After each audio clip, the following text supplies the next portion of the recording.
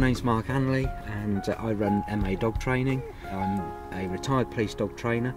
I have 20 years experience. I work with Northamptonshire and Thames Valley Police dog sections and in that time I became an accredited trainer and I worked and trained all kinds of police dogs. I wrote to Pets at Home and said to them would it be a good idea to have dog trainers working in their stores helping their customers and they agreed it would be a good idea.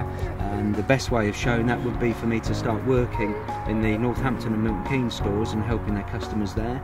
And uh, they would monitor it and see whether it's a success which so far it seems to be. I was in Pets at Home and they recommended um, to come to Mark's classes because because he was a puppy. I thought he could go to the puppy classes there but they said no it'd be much better coming here. So we did a one-to-one -one class first of all and then we've come on every week.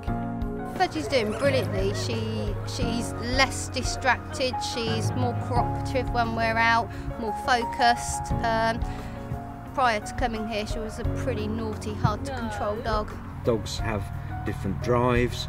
Uh, you've got gun dog breeds, and you've got pastoral type dogs, and your security protection type dogs and they all work in slightly different ways. So you have to find the key for those dogs. Think about what it is you're trying to achieve and use whatever you can whether it uh, be treats or toys or, or, or rewards to get the dog to perform at the best it can.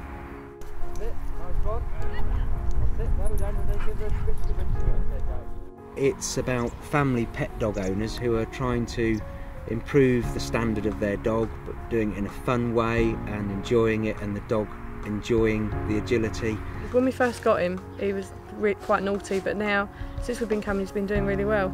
He didn't particularly like the A-frame or the seesaw or any of it, but now he, he loves it. She was a bit wary to start with, but um, you know, each week she actually looks forward to coming. She knows it's Sunday and where we're going. Um, and she does it really quite well and quite focused. I've got lots of success stories, thankfully, and uh, my general success is based upon the training that we offer. People, as I say, coming to us with either an obedience or a behavioural problem and us working on it together, and at the end of it, we have a well trained, happy dog. I'd recommend Mark's training classes to everybody I know. I've actually put it on Facebook for other people to see photos where we train and what we do. I definitely recommend him to a dog owner. He's just come on leaps and bounds. He's just really good. He enjoys coming. He's socialised in really well, um, and he's, he's definitely more obedient.